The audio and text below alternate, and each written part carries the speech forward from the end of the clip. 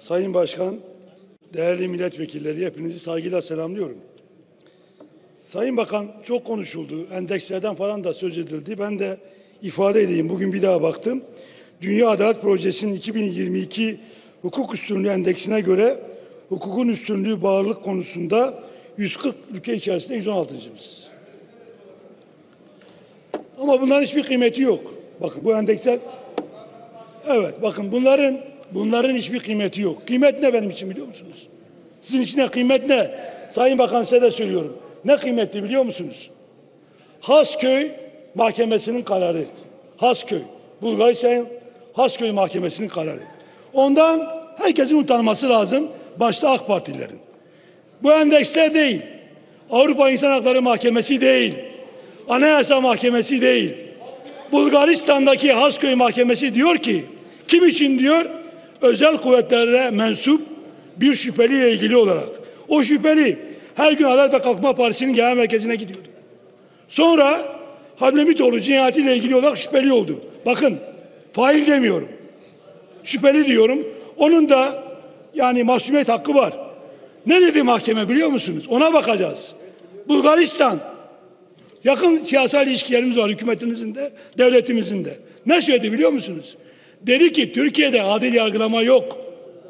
Ben bu şahsiyeti Türkiye'ye iade etmiyorum. Bunu kim söylüyor? Kim söylüyor bunu? Kim söylüyor bunu ya? Ya bundan biraz utan utan. Ben değilsen utan. Haçköy Mahkemesi bir cinayet zanlısını, bir cinayet zanlısını, bir örgüt üyesini, şüphelisini, kırmızı bültenle aranan adamı Türkiye iade etmiyor. Ne diyor? Türkiye'de adil yargılama yok. Sayın Bakan size soruyorum. Adam bir hafta geçti. Bir kelime ettiniz mi? Her şeye konuşuyorsunuz. Soruyorum Ömer Çelik'e. Bir kelime etti mi? Her şeye konuşuyor.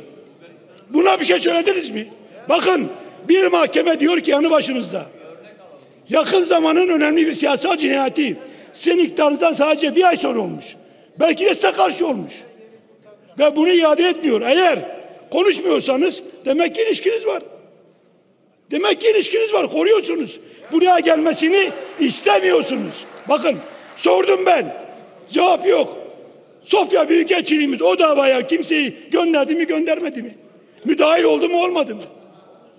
Kırmızı bültenle arıyor ve adil yargılama yok deniyor Sayın Bakan. Bundan utanın. İstediğiniz kadar bu endekslere yok, yok, yok hükümdür deyin. Ama Avrupa ülkeleri dünya bunlara bakıyor. Bakanın söylediğine değil. Efendim bizde adil yargılama var. Kimse bunlara inanmıyor. Bakın söyleyeyim sizlere kardeşim. Kimse inanmıyor.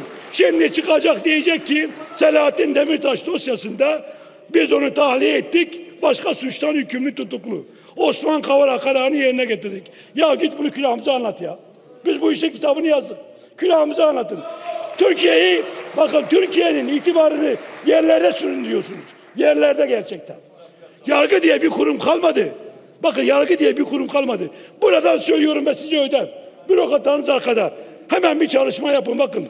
Gezi davası, Kemal Kılıçdaroğlu davası, Çağdaş Çokuşlar davası, daha sayayım 28 Şubat davası, gazetecilerin davası, Zaman Gazetesi davası ve haftaya görülecek İmamoğlu davası. Daha sayabilirim. Mahkeme kompozisyonlara bakın kaç kere değiştirmişsiniz. Kaç kere? Bir bakalım beraber. Kaç kere değişmiş? Ve niçin değişmiş? Nasıl değişmiş? İstediğiniz kadar yargı bağımsızdır değil. Yargı sizin emrinizdedir. Çünkü siyasal tercihiniz değişti. Türkiye'deki rejimin adı demokrasi değil, otokrasi. Otokrasi bağımsız, tarafsız yargı istemez. Asker ister, memur ister. Görevini layıkıyla yapan hakimlere, savcılara bir şey söylemiyorum. Tek tek var. Ama elinizi vicdanınıza koyun ya. Tahammül bizim okulumuzun parçası değil mi? Birinci sınıfta öğretmezler mi? Yargının ve yargıtan bir tahammül yok mu? Ya bir günlük adamı Anayasa Mahkemesi üyesi yaptı. Türkiye'nin yüksek yargıçları. Bir günlük. Bir karara imza atmamış. Ya başka adam mı yoktu? Bakın bu tahammülleri yok ettiniz. Yok ettiniz tümünü. Nasıl güveneceğiz bu Anayasa Mahkemesi'ne? Nasıl güveneceğiz o 109 tane Yargıtay üyesine? Bunu yapan Yargıtay üyesi her şeyi yapar. Kendi tahammülüne uymayan Yargıtay üyesi Tamamlayalım lütfen. Bakın yargı çürümüş. Ya size soruyorum. Burada sordum. Sayın Bakan elini vicdanına koy. Gel burada cevap ver. Ya Tahir Elçi davası. Hepimizin vicdanı. Duruşmadaydım ben. Ya bir duruşma 23 Kasım'dan Temmuz ayına ertelenim 223'e. 8 ay sonrasına. Eğer bu suça ortak değilseniz o hakimden hesap soracaksınız. Nasıl 8 ay erteler? Eğer, eğer ortak değilseniz. Veya nasıl ara kararıyla Sayın Davutoğlu'nun dinlenmesi kararını geri çeker. Eğer ortak değilseniz. Bakın gelin burada söyleyin. Ortak değiliz. Hakim yanlış yapmıştır. Ne diyeceksin? Efendim hakimler bağımsız ve tarafsızdır. Duruşma defterine göre gün vermiştir. Külahıma anlat. Külahıma. Son söz. Hesabını soracağız. Bunlarla helalleşmeyeceğiz. Hesap soracağız. Hesap soracağız. Ama adil biçimde sizin yaptığınız gibi değil.